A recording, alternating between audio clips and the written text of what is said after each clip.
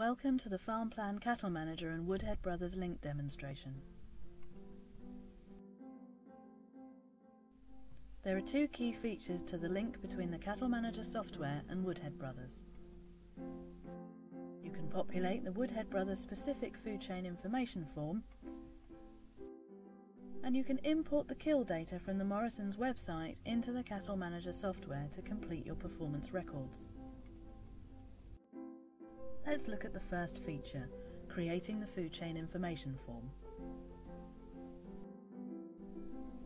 First of all, create a planned sale within the Cattle Manager software and select the animals that are going to Woodhead Brothers.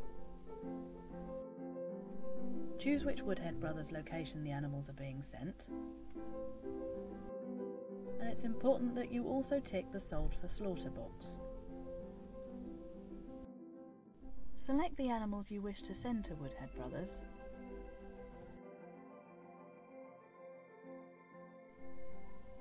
The Cattle Manager software will display the animal's farm assurance status, number of days since its last TB test, and whether it's still subject to medicine withdrawal. You can also select the animals by scanning the barcode on their passport or from reading EID tags. Once you have selected the animals you want to send to Woodhead Brothers, save the planned sale. To print off the food chain information form with the information of the sale you've created, go to the Planned Movement section of the report library. Select the Woodhead Brothers Declarations folder, then select the FCI form relevant to the site you're sending the animals. The software will then produce the pre-populated food chain information form. It can be printed off and sent with the animals and will help reduce errors. Now let's look at the second link between Woodhead Brothers and the Farmplan Cattle Manager. As we have created the planned sale to Woodhead Brothers, we can update the information with the kill data supplied by them through the Morrisons website. Select the planned sale you wish to update and choose Post Sale Update. Choose what has happened to the animals you plan to sell. Log into the Morrisons website using your specific login details.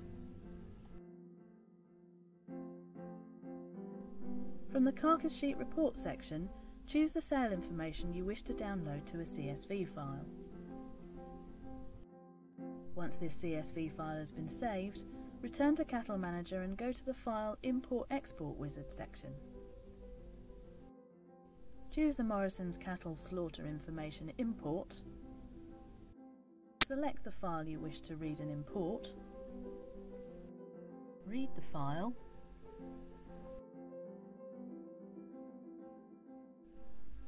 And import. Cattle Manager will then update the sale information, all of the relevant performance and financial reports associated with the animals you have sold.